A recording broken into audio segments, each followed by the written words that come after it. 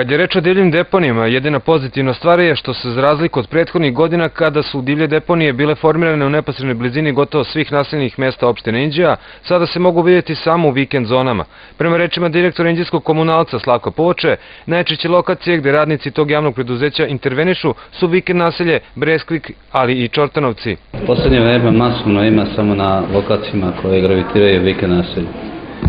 I pored toga što ima dovoljan broj kontejnera i pored toga što komunalac svakodnevno čisti, znači svakodnevno ima taj kružni tok gde naši kamioni prolaze putem novog starog slankamena, Krčedina, Beške, Čotanovaca, i najveći problemi se javljaju u Breskviku i najveći problemi se javljaju u, kod Vila Stankovića.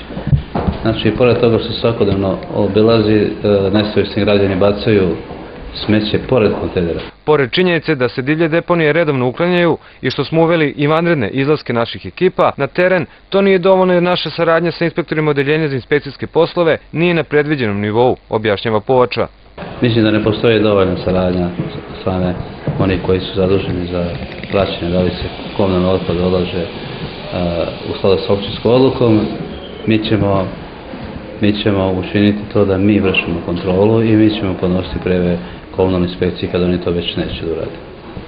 Znači, mi ćemo biti ti koji ćemo u narednom periodu, imat ćemo kontakt s građanima, već smo uspostavili, dostavit ćemo i određeni broj kanti, još određeni broj kontejnera s kojim raspolažemo, ali ćemo pre svega, radi se o nas nesavesti vikendašima koji jednostavno, koji ih jednostavno mrzi da stanu da baci smeće u kontejner, već bace, bace to smeće pored kontejnera.